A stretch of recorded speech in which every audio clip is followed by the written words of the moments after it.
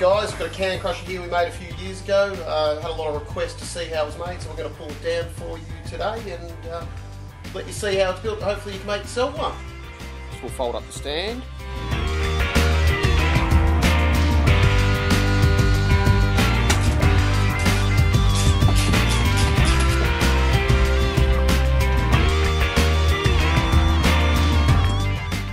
Now you can see all the internals that were removed during the process. Unscrew the air switch. Remove the screws to the rear cover.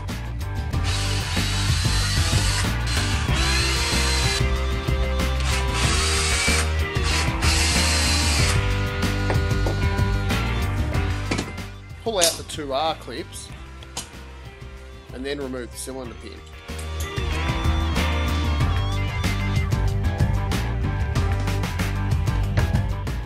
Now the mechanism is ready to be removed from its aluminium housing.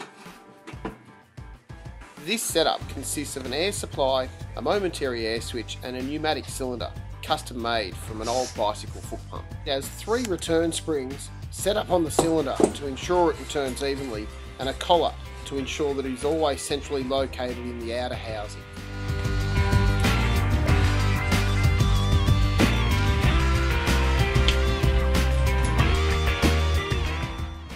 We used the foot pump's original rubber piston seal with a custom rod.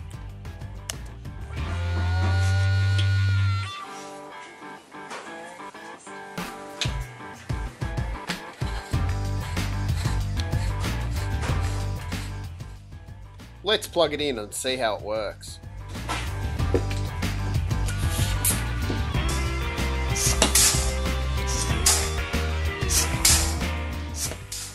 Now looking at the housing, it was made from 82 mil or 3 and a quarter inch aluminium irrigation pipe, sanded and then polished.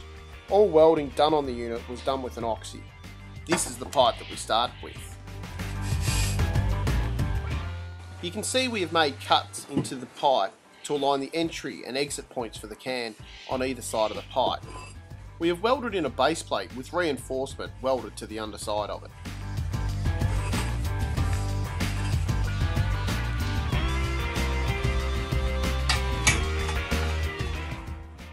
Okay, now let's put it back together.